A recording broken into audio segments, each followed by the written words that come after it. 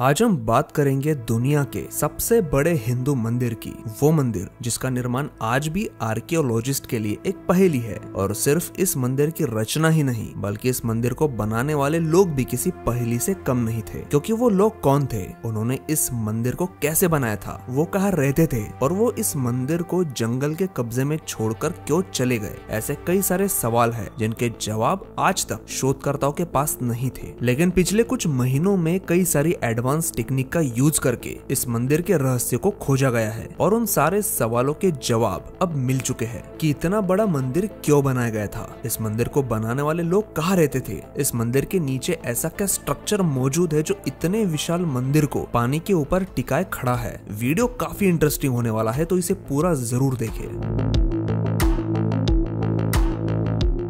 Angkor Wat मंदिर मौजूद है कंबोडिया में। जी हाँ दुनिया का सबसे बड़ा हिंदू मंदिर होने के बावजूद ये मंदिर भारत में मौजूद नहीं है, लेकिन ये मंदिर एक समय में अखंड भारत का हिस्सा ज़रूर था। लेकिन फिर क्यों आकार से इतना विशाल मंदिर, जिसे बनाने के लिए उस समय के हिसाब से भी लाखों रुपए खर्च किए गए थे, जिसे बनाने के लिए लाखों लोगों ने दिन रात कड़ी मेहनत की थी, आज उस मंदिर पर जंगल ने कब्जा कर लिया है। ऐसा क्या हुआ था जो इस मंदिर के पास रहने वाले लोग अचानक इस मंदिर को छोड़कर चले गए। कंबोडिया के जिस हिस्से में ये मंदिर मौजूद है, उस हिस्से को प्राचीन काल में यशोधरपुर कहते थे। भगवान विष्णु को समर्पित इस भव्य मंदिर को राजा सूर्य वर्मन ने बारहवीं सदी में बनवाया था। ये मंदिर करीब एक हेक्टर में फैला है और यहाँ करीब एक हज़ार से भी ज़्यादा छोटे और बड़े मंदिर मौजूद है। इन मंदिरों में कई हिंदू देवी देवताओं की मूर्तियाँ है। रामायण महाभारत से जुड़े कई प्रसंग दीवारों पर तराशे हुए है। ये मंदिर कितना विशाल है, इसका अंदाज़ा आप इस बात से ही लगा लीजिए कि इस मंदिर में प्रवेश करने के लिए जो एक विशाल गेट बनाया गया था, उसकी चौड़ाई ही करीब एक हज़ार फीट है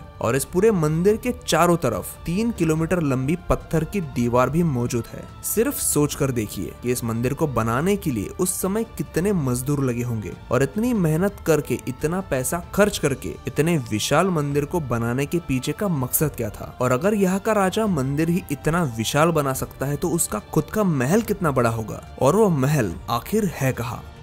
ज़ाहिर सी बात है कि इतने बड़े मंदिर को देखकर ये सवाल भी आर्कियोलॉजिस्ट के मन में आया था कि इस मंदिर के आसपास लोग एग्जैक्टली रहते कहाँ पर थे? उनके घर कहाँ पर थे? इस बात का पता लगाने के लिए आर्कियोलॉजिस्ट ने कई एडवांस टेक्नोलॉजीज़ का सहारा लिया, जिसमें से एक थी लाइडर टेक्नोलॉजी जब लाइडर टेक्नोलॉजी का इस्तेमाल करके इस पूरे एरिया के थ्री मैपिंग की गई तो शोधकर्ताओं को एक बात पता चली कि इस मंदिर के आसपास न सिर्फ़ प्राचीन समय में एक पूरा का पूरा गाँव बसा था, बल्कि इस मंदिर के चारों तरफ़ पानी के ऐसे चैनल्स थे जो इंसानों द्वारा बनाए गए थे।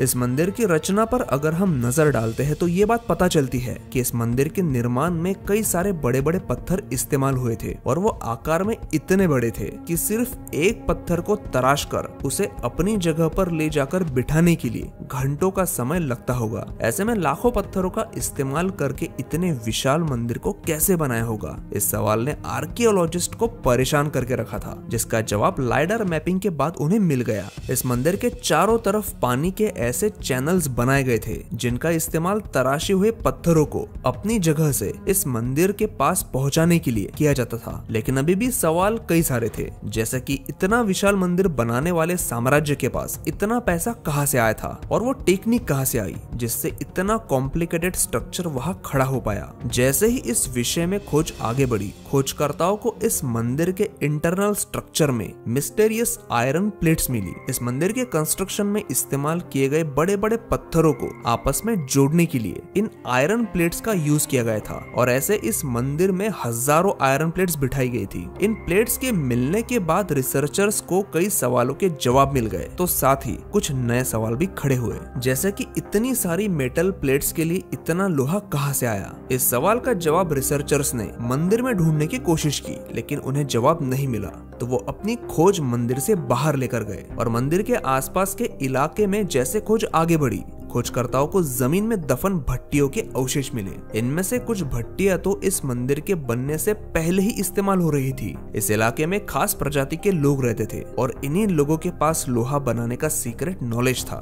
यहाँ के आसपास के इलाके में शोधकर्ताओं को एक और इंटरेस्टिंग चीज़ मिली स्लॉग ये एक पत्थर जैसा हार्ड मटेरियल होता है, जो किसी भी लोहे की भट्टी में एज अ बाय प्रोडक्ट निकलता है। ये स्लॉग इस बात का सबूत था कि इस इलाके में उस समय लोहे की कई सारी भट्टियाँ थी, और इन्हीं भट्टियों में वो मेटल प्लेट्स बनाई गई थी, जिसके सपोर्ट से अंगकोर वाट का पूरा मंदिर खड़ा है। इस मंदिर के मजबूती से खड़े होने के पीछे सिर्फ़ वो बातें ही जिम्मेदार नहीं है जो ऊपर से दिखाई देती है, बल्कि इस स्ट्रक्चर में कई ऐसे पत्थर भी छिपे हैं, जिनके बारे में आज तक किसी को पता नहीं था। और ये खास किस्म के पत्थर थे लेटेरेट ब्लॉक्स लेटेरेट ये पत्थर वज़न में हल्का होता है, पोरस होता है, और इसकी सबसे बड़ी खासियत ये होती है कि ये बहुत अच्छे तरीके से शॉक एब्जॉर्बर का काम करता है। इस पत्थर के मिलने के बाद एक सबसे बड़े सवाल का जवाब मिल ही गया कि आज तक कोई भी बड़ा भूकंप इस मंदिर को नुकसान क्यों नहीं पहुँचा पाया था? चलो, भूकंप से इस मंदिर को कौन बचाता है? इसका पता तो चल चुका था। लेकिन इस मंदिर के चारों तरफ़ मौजूद पानी में